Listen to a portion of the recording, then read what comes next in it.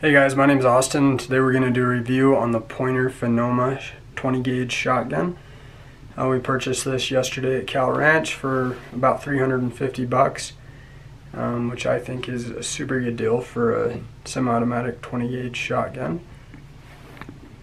Um, once you get it out of the box, that's what it's going to look like. It comes in a hard case, which is awesome. I've never seen a shotgun that comes in a hard case, so I was really impressed by that open it up and it's kind of a form-fitting case. turn it around for you. And one thing that I was really impressed by with this gun, and the biggest reason I bought it, is right there. Um, it says Legacy Sports, so it's imported by Legacy Sports, which is actually the same company that imports Howa rifles. And Howa, if you've never shot one, you need to, because my opinion, they're the best rifles on the market right now. Um, this gun comes with a glow sight on the end of it.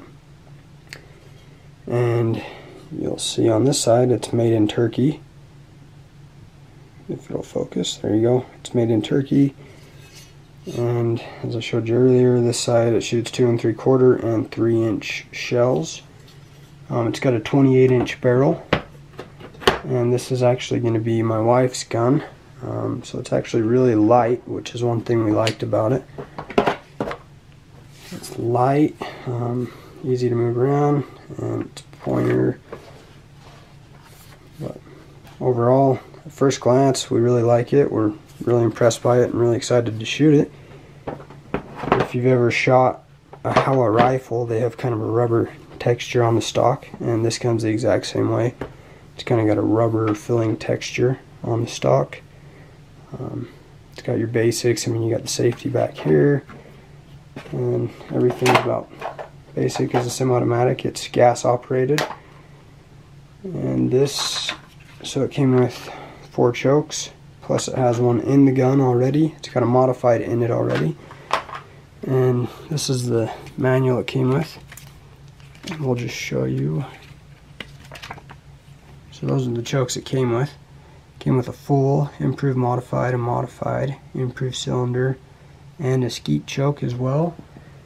Um, I think that's awesome too that it came with five chokes. So we're really excited to shoot it. We're going to take it out today and we'll see how it goes and we'll take you with us and show you how she shoots. But we're really impressed first look, especially for the price. And the biggest reason I think they're cheap right now is I just don't think very many people know about them. So, yeah, we'll take it out and we'll see how it shoots. See if this works, we'll just drop a shell in there and hit the button. Went right in, no problem. Um, we'll put a couple in the magazine and then see if Ashley can hit anything. yeah, we'll see. There it is, ready to go. Beautiful. Trade me. You're shooting. Go. I suck. Shot two just fine, but caught that one. Alright, well second shot, caught the shell, didn't eject it all the way.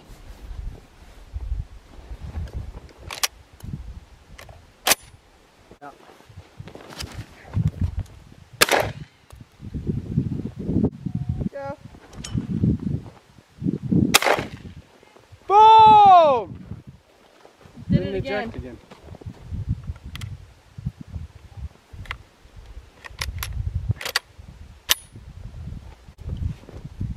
See if we can get two.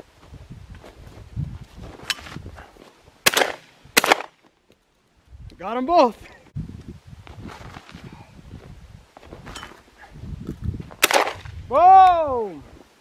Did I get it? Yeah.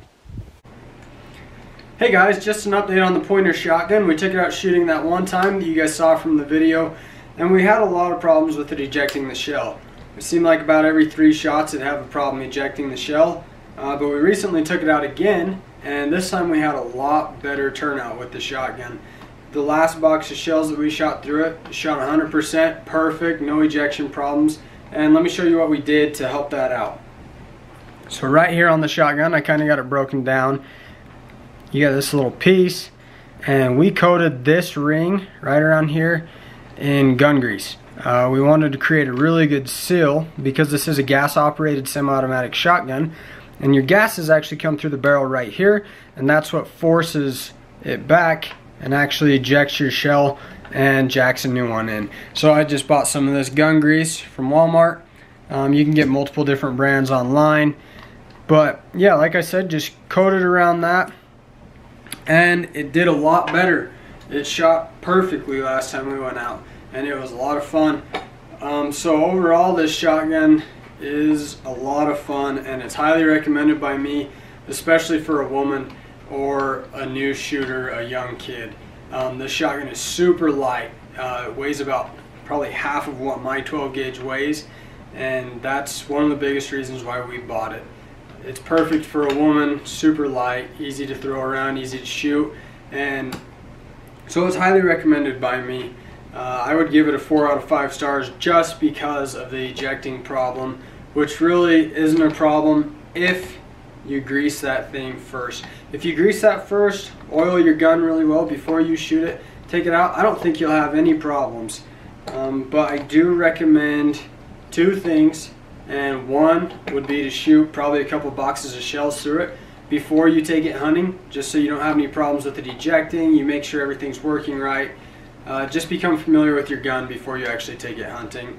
And two, I would say to make sure it's well greased and well oiled and you shouldn't have any problems with this gun.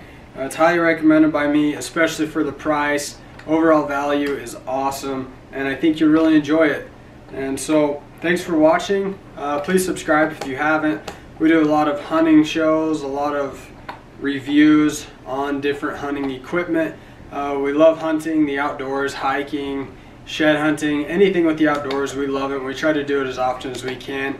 And we try to video as often as we can too. So just please subscribe if you haven't yet. It really helps us out. And we hope to see you in the future. And thanks for watching. Bye.